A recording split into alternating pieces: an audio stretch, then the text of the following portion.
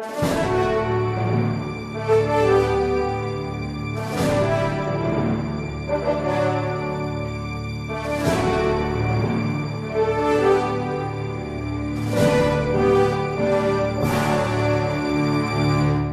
queridos irmãos e minhas queridas irmãs, aqui é o Padre Paulo Ricardo e estamos começando mais uma vez o nosso programa Testemunho de Fé.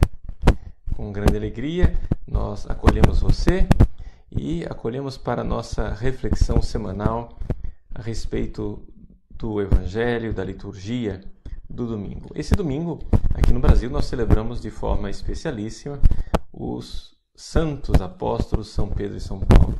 Trata-se de uma solenidade transferida do dia 29 para o domingo. Então vamos refletir um pouco a respeito da missão do Santo Padre o Papa à luz daquilo que são eh, os testemunhos de vida e de fé dos dois grandes apóstolos São Pedro e São Paulo. Ao refletir um pouco sobre a missão do Santo Padre, e ao rezar para preparar eh, não somente esse programa, mas também a minha homilia de domingo, eu me recordei daquela aparição de Nossa Senhora em Fátima, onde se descreve ali, numa visão, os sofrimentos do Santo Padre, que atravessa uma cidade em ruínas, para que depois o Santo Padre, aos pés de uma cruz, sofra tremendos ataques com flechadas e termine morrendo. A irmã Lúcia falou é, várias vezes e insistiu nesta mensagem, que a mensagem de Nossa Senhora, que dizia numa frase: O Santo Padre terá muito o que sofrer. Então, em primeiro lugar, somos chamados a rezar, e a rezar muito, pelo Papa Francisco porque, porque se ele for verdadeiramente fiel ao seu chamado, se ele for verdadeiramente fiel àquilo que é a missão recebida de Cristo, ele, como disse Nossa Senhora, terá muito o que sofrer. Eu me recordo também do Papa Bento XVI, que no início do seu pontificado, ele é, pediu nossas orações, dizendo: rezem para que eu não fuja diante do lobo. É a mesma coisa que devemos fazer pelo Papa Francisco. Nós devemos é, nos recordar nas nossas orações do Santo Padre para que ele seja fiel à sua missão.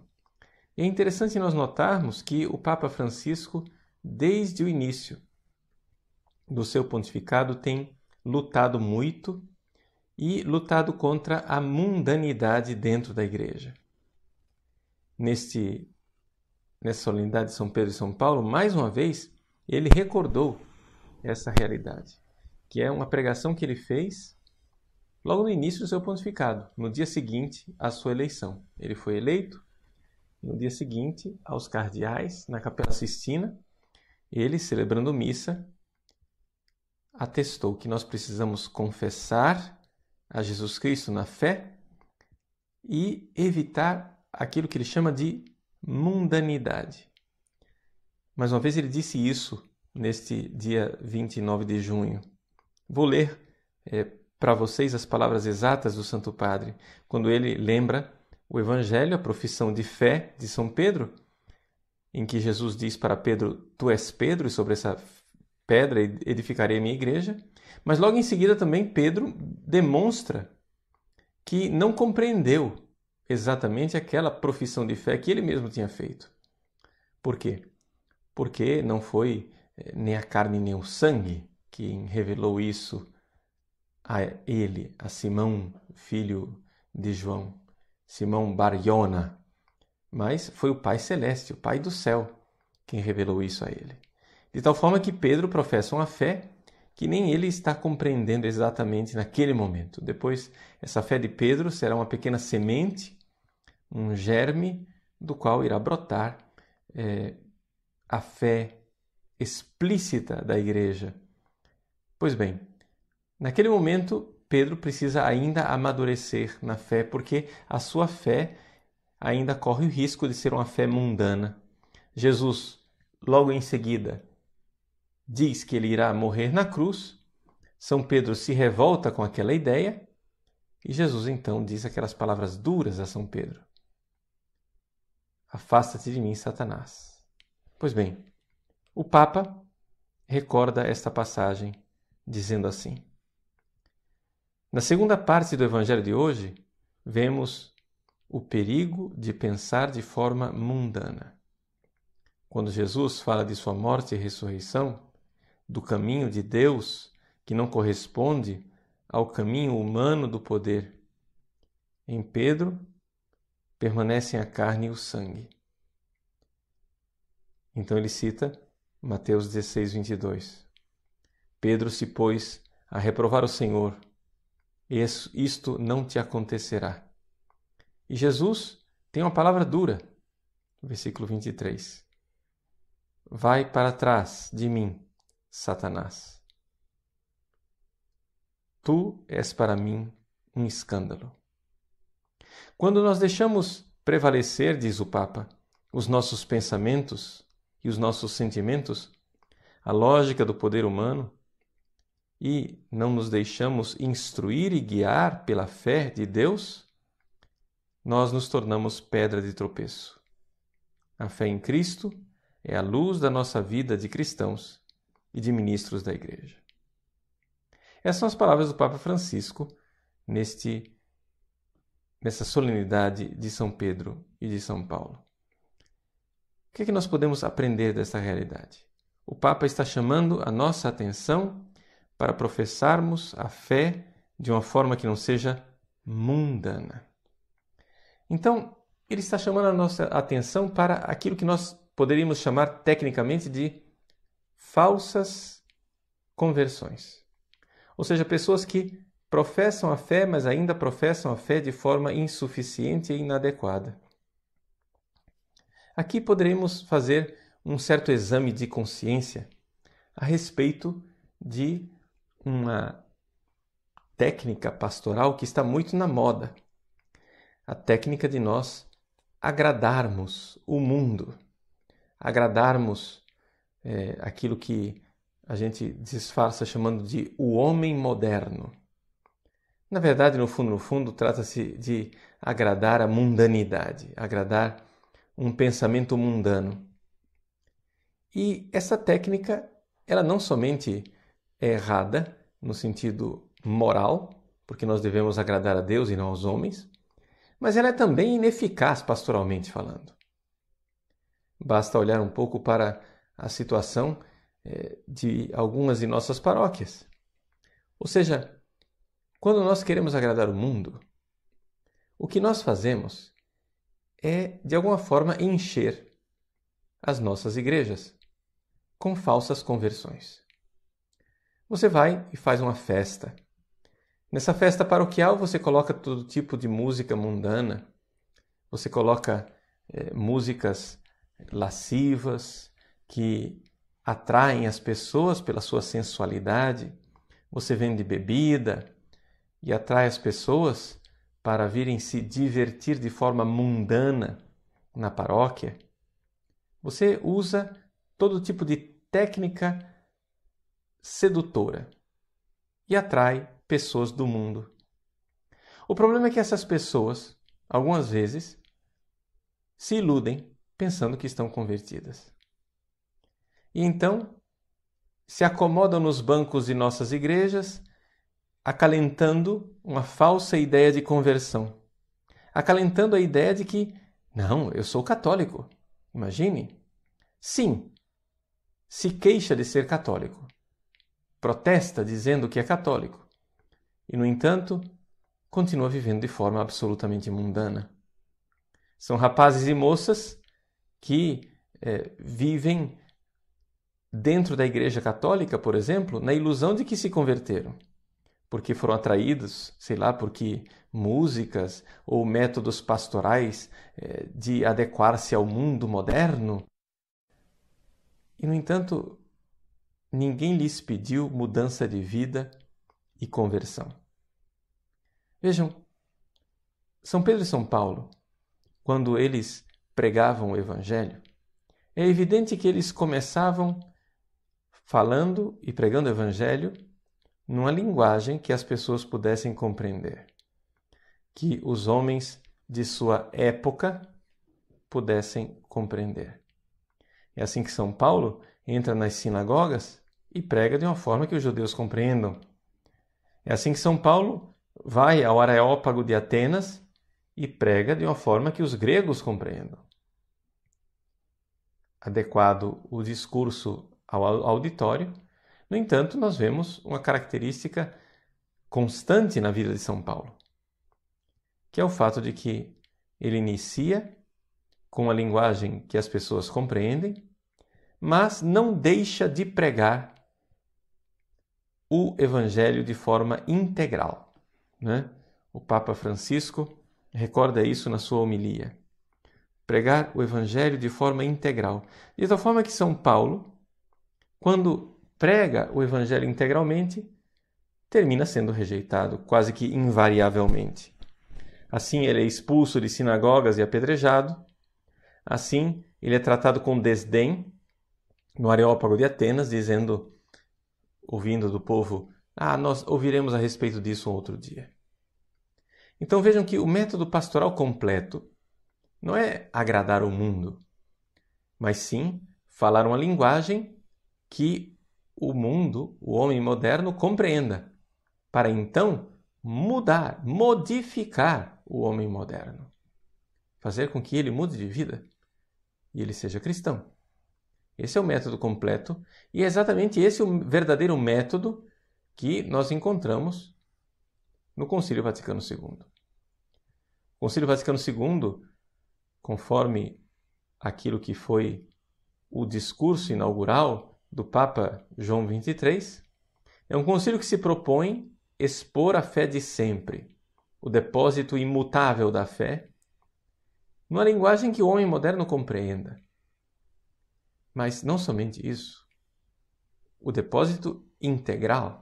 Isso quer dizer que adaptar a linguagem não significa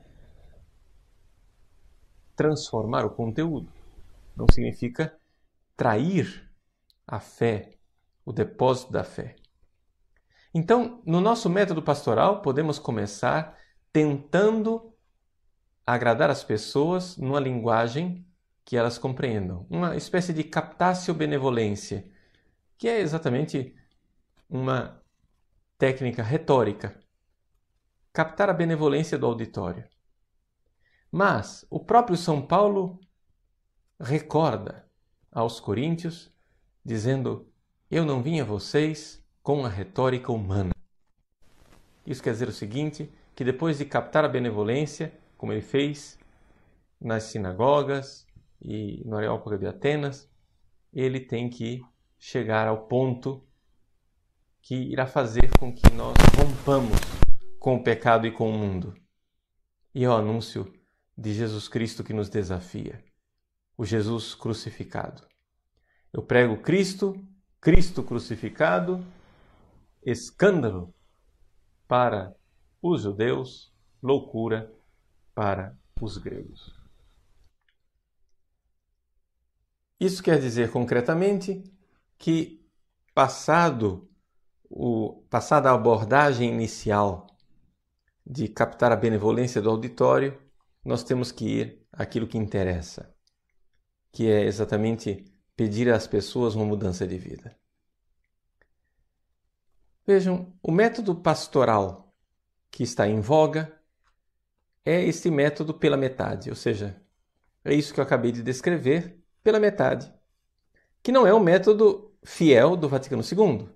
Trata-se de uma traição do Vaticano II.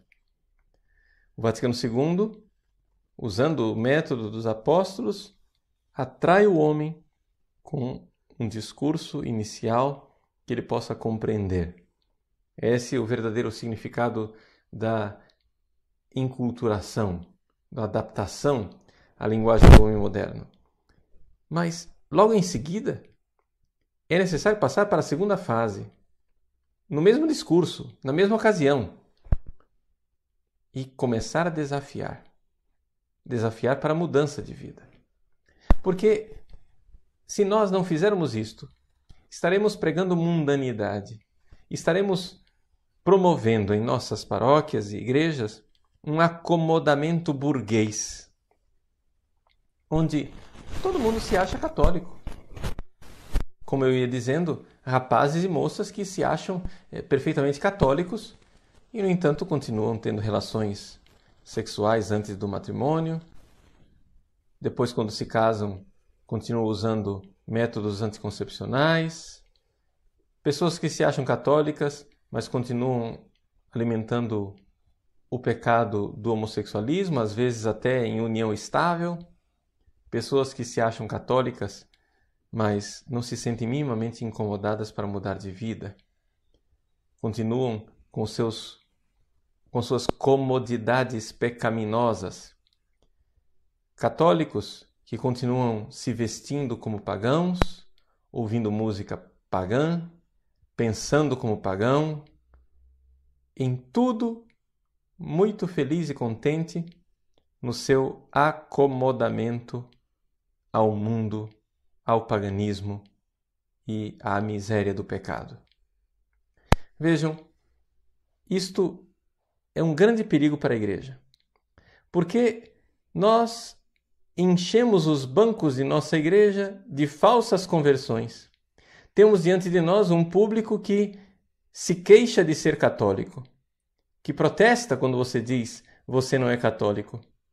E então, a nossa própria pastoral, nossas pregações, nossa catequese vai escorregando na direção da mundanidade. E ao invés de nós realizarmos aquilo que se propunha ao Vaticano II, que é a conversão do homem moderno para que ele seja verdadeiramente cristão, nós o que alcançamos é a mundanização da igreja. E nós então nos tornamos pagãos. Pagãos, muito devotos, que vão à igreja no domingo, porém pagãos. Pagãos é, aparentemente católicos, mas um catolicismo que é um simples verniz.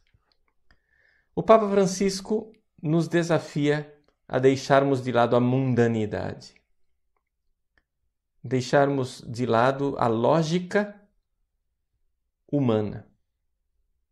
E a lógica humana, claramente, que é quebrada pela cruz de Cristo. Enquanto nós pensamos na lógica humana, num poderio humano em que eu uso uma retórica e com isso vou acumulando forças, vou acumulando então consenso, vou acumulando número e poder, na verdade, nós somos chamados a uma conversão. E converter significa romper. Isso é inevitável. Nós podemos ir às pessoas e nos adaptar a elas, mas no final de uma pregação verdadeiramente cristã, nós iremos colocar a pessoa numa posição de romper com a sua vida passada, de romper com a sua vida de pecado. Se nós não fizermos isso, o método pastoral não foi alcançado.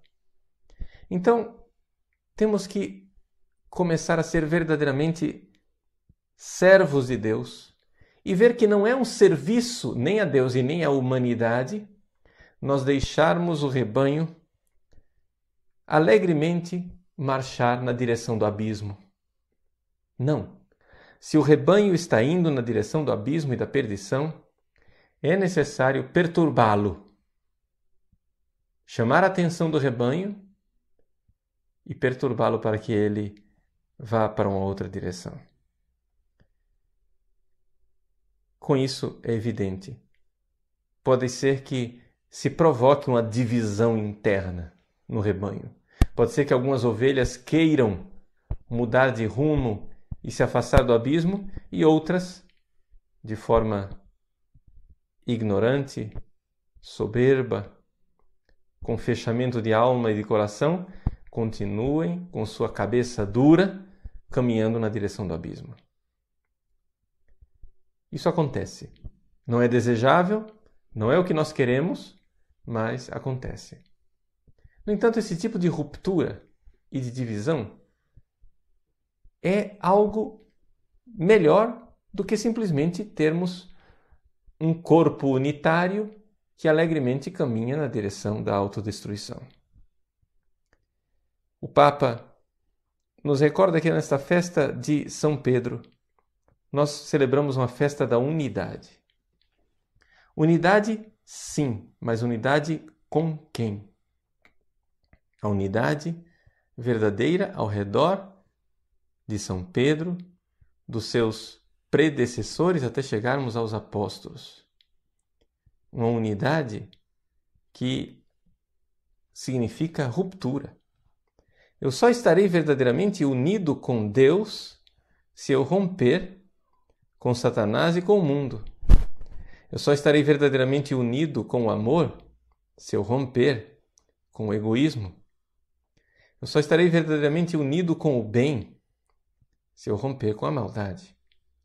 Então é evidente que o nosso discurso de comunhão só funciona se ele for unido a um discurso de ruptura. Não adianta nós querermos ter comunhão com tudo e com todos, porque isso significará comunhão com ninguém. Por isso, gostaria de dirigir uma palavra neste dia de São Pedro e São Paulo a tantos agentes de pastoral, padres, ministros da comunhão, pregadores, catequistas, pessoas que estão dedicadas à pregação do Evangelho. Aqui nós tomemos um grande cuidado para não alimentarmos falsas conversões. Irmos lá no mundo buscar pessoas, pescá-las e deixá-las comodamente na sua vida de pecado e de mundanidade, sentada nos bancos de nossas igrejas. A falsa conversão é um tremendo perigo. Porque a pessoa pensa que é cristã, pensa que não precisa mais se converter e vai precipitando na direção do inferno. A pessoa perdeu a chance de realizar a verdadeira conversão. Pois bem, precisamos incomodar as nossas assembleias litúrgicas, precisamos incomodar os nossos catequizandos, precisamos incomodar os nossos grupos de jovens para que eles realmente rompam com a mundanidade e o pecado. Somente assim haverá verdadeira conversão. A comunhão com Deus supõe uma declaração de guerra contra Satanás. É aqui que o Papa então nos recorda, falando de São Paulo, que diz: Combati o bom combate. Ele diz: esse combate, esta batalha, não é uma batalha de sangue, como infelizmente acontece no mundo, mas é uma batalha verdadeira para que nós possamos tornar Cristo crível e assim edifiquemos a igreja. Nós temos que realizar o bom combate, não nos poupar a nós mesmos. Esse é o verdadeiro serviço ao povo de Deus. O Papa e os bispos, diz o Santo Padre, o Papa Francisco, não devem se poupar. Esse amor para com Cristo e para com todos deve, deve acontecer sem distinção, sem limites e sem barreiras. A todos devemos incomodar com a mensagem do Evangelho e com a mensagem de Cristo. É a batalha do martírio, diz o Papa. Concluo recordando aquela passagem da aparição de Fátima. O Santo Padre terá muito o que sofrer. Usando a linguagem do Papa Francisco, é a batalha do martírio. Rezemos para que tenhamos sempre papas que sejam mártires. Rezemos para que também nós sejamos esses mártires. E, embora comecemos nossa abordagem pastoral querendo captar a benevolência dos nossos ouvintes, saibamos que no final provavelmente sairemos das sinagogas apedrejados Mas é assim que a igreja foi implantada. E é assim que ela continuará a sobreviver, se soubermos enfrentar as pedradas e perseverar na fé, para que possamos no final chegar como São Paulo, professando a fé e dizendo: Combati o bom combate. Deus abençoe você. Em nome do Pai, e do Filho e do Espírito Santo. Amém.